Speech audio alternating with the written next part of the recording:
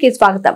ప్రజా ఫిర్యాదుల పరిష్కార వ్యవస్థ కార్యక్రమంలో ప్రజల సమస్యలపై ఇచ్చిన ఫిర్యాదులకు ఆయా శాఖల అధికారులతో పరిష్కార చర్యలు తీసుకోవడం జరుగుతుందని కాకినాడ జిల్లా కలెక్టర్ షణ్మోహన్ సగిలి అన్నారు. పిఠాపురం పట్టణం రథాలపేటలో గల అంబేద్కర్ భవన్లో ప్రజా ఫిర్యాదుల పరిష్కార వ్యవస్థ కార్యక్రమం జిల్లా కలెక్టర్ షణ్మోహన్ సగిలి ఆధ్వర్యంలో జరిగింది. ఇందులో భాగంగా ప్రజలు తమ తమ సమస్యలపై ఫిర్యాదులు పరిష్కారం కోరుతూ వినతి పత్రాలు కలెక్టర్ షణ్మోహన్కు అందజేశారు. AP TIDCO chairman Vemulapati Ajay Kumar Janasena party Pithapuram incharge Mareddy Srinivas హాజరై నియోజకవర్గంలోని పలు సమస్యలను జిల్లా కలెక్టర్ దృష్టికి తీసుకువెళ్ళారు. ఇటీవల భారీ వరదల కారణంగా అపార నష్టం వాటిల్లిన పిఠాపురం మండలం మాధవపురం గ్రామంలో సుమారు యాభై మంది బాధితులకు ప్రభుత్వం ఇచ్చిన నష్టపరిహారం ఇప్పటికీ అందలేదని వారికి కూడా పరిహారం అందించి న్యాయం చేకూర్చాలని కోరుతూ బాధితులతో కలిసి జనసేన నాయకుడు జ్యోతుల సతీష్ కలెక్టర్కు వినతి పత్రం అందించారు. కాకినాడ జిల్లాలో పలు చోట్ల తాను చేపట్టిన ప్రభుత్వ అన్నా క్యాంటీన్ల నిర్మాణ పనులకు సంబంధించిన సొమ్ములు తక్షణం విడుదల చేసి తనకిప్పించి ఆదుకోవాలంటూ ప్రముఖ కాంట్రాక్టర్ సూరవరపు దివాణం జిల్లా కలెక్టర్ షణ్మోహన్ సగిలికి విన్నవించుకున్నారు. ఈ కార్యక్రమంలో కాకినాడ జిల్లా ఆర్డీఓతో సహా పలువురు జిల్లా ఉన్నతాధికారులు పిఠాపురం నియోజకవర్గంలోని అన్ని ప్రభుత్వ శాఖల అధికారులు సిబ్బంది పాల్గొన్నారు. నా పేరు సూరవర సత్యరాజు. నేను కాంట్రాక్టర్. నేను పిఠాపురం అన్నా క్యాంటీన్ ఒకటి ఏరియాసం అన్నా క్యాంటీన్ ఒకటి తునోటి గొల్లపాలు మయంగా వదిలేసాను దేనివల్ల అంటే కారణం రెండు నెలలు అయింది వీళ్ళకి పూర్తి చేసి మనం ఇచ్చి అన్నా క్యాంటీన్లు. ఇక్కడ ఓపెనింగ్ కూడా జరిపేసుకున్నారు. ఇప్పటికొచ్చి ఏ విధమైన హెడ్ హెడ్ అంటే అది పిఓ ఆఫీస్లో కానీ ట్రెజరీ ఆఫీస్లో కానీ మున్సిపల్ ఆఫీస్లో కానీ కనిపించట్లేదు. నేను సూపరింటెండెంట్ ఇంజనీర్ని కూడా అడగడం జరిగింది. ఆయన ఈఎల్సీ గారి ఈఎల్సీ గారిని చీఫ్ ఇంజనీర్ గారిని అడుగుతా ఉన్నారు. ఇప్పుడు వచ్చి నాకు పరిష్కారం ఏ విధమైన పరిష్కారం ఈ కమిషన్లు చూపించలేదు.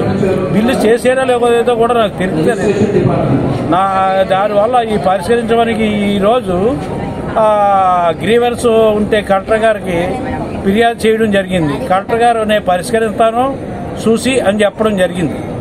కలెక్టర్ గారు విన్నవించుకునేది ఏమంటే నాకు న్యాయం చేయవలసిందిగా కోరుచున్నాను. గత ప్రభుత్వంలో కూడా రెండు కోట్ల చిల్లర బిల్లు ఉండిపోయాయి.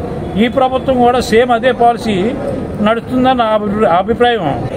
మాధవపురం గ్రామంలో ఈ నెల తొమ్మిది పది తారీఖులో వచ్చిన భారీ వరదల వల్ల మా గ్రామంలో అపార నష్టం జరిగింది.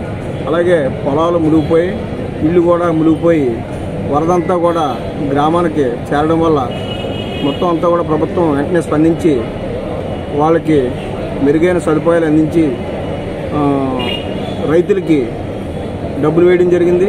అలాగే ఇల్లు మునిగిపోయిన ఇల్లు కూడా పదివేలు చొప్పున వేయడం జరిగింది.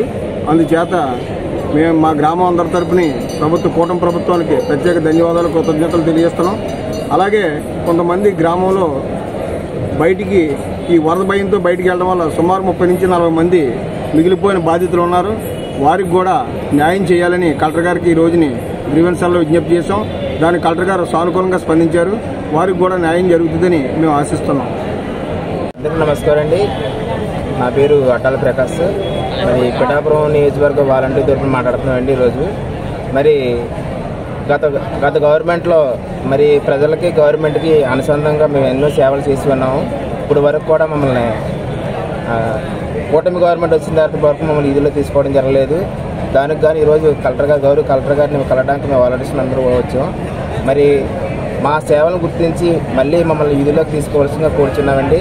అలాగే మాకు గౌరవ వేతనం ఏదైతే ఉందో అది మూడు నాలుగు నాలుగు నెలలు మూడు నెలలు పెండింగ్ ఉన్నాయి. ఇవి కూడా మా ఇచ్చి మా వాలంటీర్లు అందరిని కూడా ఆదుకుంటారని కూడా కోరుకుంటున్నాం.